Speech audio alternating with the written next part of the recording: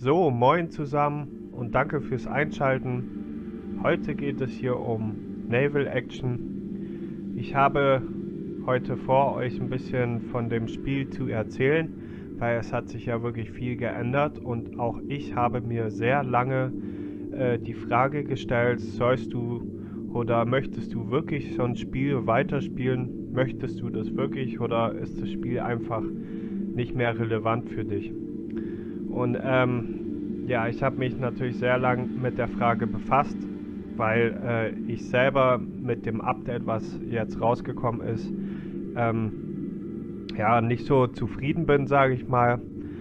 Ähm, das merkt man aber auch an der Anzahl der Spieler, die auf den Servern heutzutage sind. Es sind äh, sehr, sehr wenige.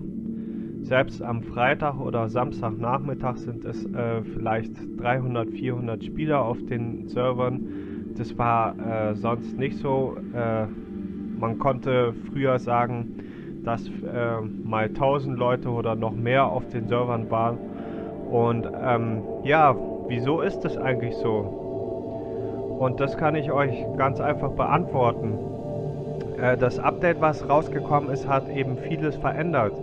Zum Beispiel wisst ihr ja, dass jetzt nach dem Update äh, das alles so ist, dass jedes Schiff nur noch ein Durability Point hat. Das heißt, egal ob es jetzt äh, eben ein Klasse äh, 6 oder 7 Schiff ist und das ähm, eben sehr klein noch ist, ähm, wird es einmal versenkt, ist es weg und die Crew ist weg die Kanonen, die man übrigens jetzt auch bezahlen ähm, muss, die sind eben dann auch weg und man bekommt für die Schlacht, auch wenn man verloren hat, kein einziges äh, bisschen Belohnung dafür.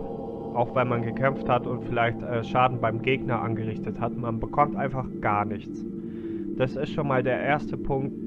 Ähm, man muss mega äh, heftig eben auf sein Schiff aufpassen und das äh, ist das Wichtigste. Und wenn ihr Naval Action wieder anfangt, äh, sage ich euch, ihr müsst in einem Clan sein und ihr müsst an irgendeinem Ort sein, der verlassen ist. Ein Ort, wo ihr ungestört Missionen machen könnt. Erst dann kann es sein, dass ihr erst an Geld kommt.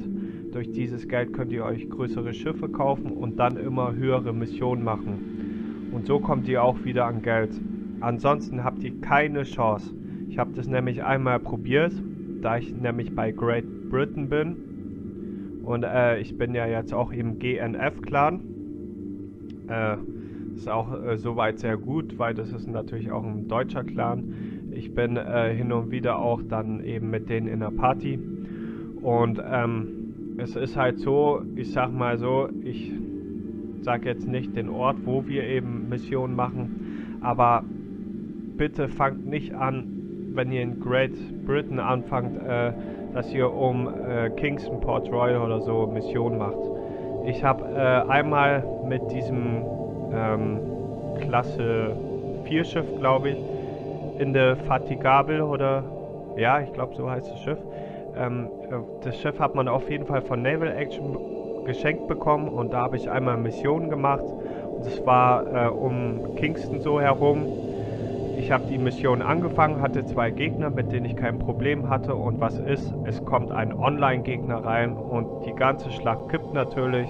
Ich habe das Schiff irgendwann verloren, weil ich äh, eben nicht mehr ankämpfen konnte. Es ging ein einfach nicht mehr. Ich habe drei Gegner gehabt, keine Chance gehabt.